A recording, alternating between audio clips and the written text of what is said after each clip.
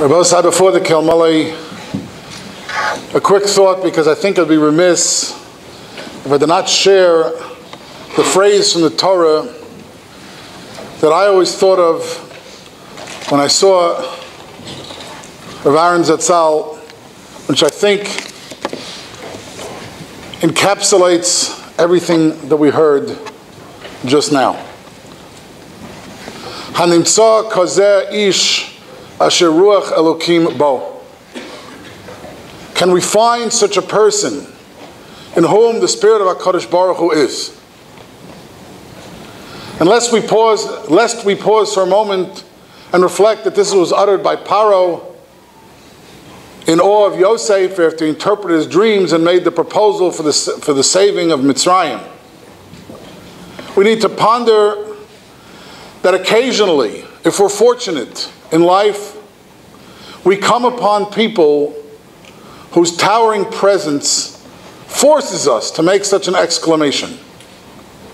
And lest we think that Ruach Elokim is a phrase only appropriate for someone like Paro responding to Yosef, I remind you when HaKadosh Baruch Hu instructed Moshe Rabbeinu to appoint Yehoshua as his successor, he says, Kach get Yehoshua bin Nun ish asher ruach bo.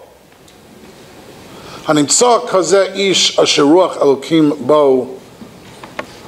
That's what Rav Aaron Zatzal represented to me. I think the Talmud and the Yeshiva, who weren't Zochet to know him necessarily, can perhaps put together. Three very, very quick vignettes that illustrate this point. Remarkable. When I was in Gush, it's called coming up on, I guess, close to 40 years ago. So Rav Aaron lived at that time in Yerushalayim. He used to drive, as was mentioned in the video.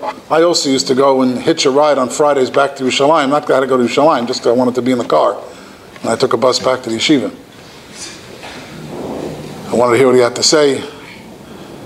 But the yeshiva, and I heard this from the, one of the uh, administrators, used to pay for his gas, his, his travel costs. And at the end of each month, he submitted the receipts to the office, and they would pay him back for his expenses. And the administrator told me that one month he came in, he was a bit distraught. He had lost the receipts. And so the person said, okay, so we'll look back at the last month, and whatever was the last month, Mistama, the distance doesn't change, so it was the same. Lichtenstein pointed out, but there were a couple of less days of yeshiva this month than there were the previous month. So trying to figure out what to do, and Lichtenstein said, well, I can tell you what was on the receipt. And by heart, he recorded what was on the, what the expense ledger was.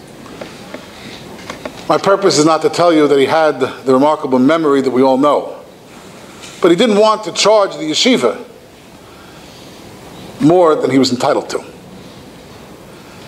Recently, after he took ill, one of the directors of the yeshiva told me that he approached the office and said that now that he's no longer giving the same number of shiurim, and now that he's not really involved in the yeshiva day to day, you have to lower my salary.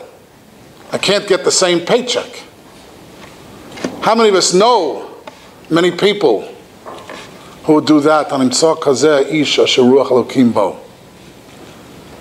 Just to conclude, we're now in this period of the Sphira.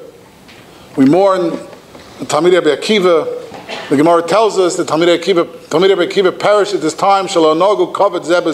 However, we understand that. Lichtenstein Zatzal was somebody who personified being Noheg kavod to everybody. To everybody. Yesterday, a Talmud of his from Yeton YU, the late 1960s, told me he was in a Lichtenstein Shiur in 1967 at the time of the Six Day War. So there was a big rally in Washington that many, many yeshivas and many people went to. And they had buses from here in Washington Heights to get to Washington. And Lichtenstein went along, and this individual was with him, a Talmud of his, And if you can imagine, you know, they were all day in Washington. On the way back, they stopped at a rest stop for food and snacks and so on.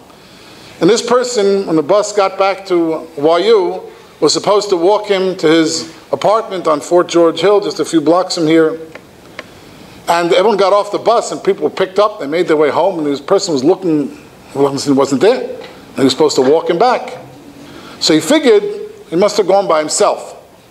But for some reason or other, he decided, let me go take a look on the bus. Maybe he was learning a few extra minutes everyone else got off the bus.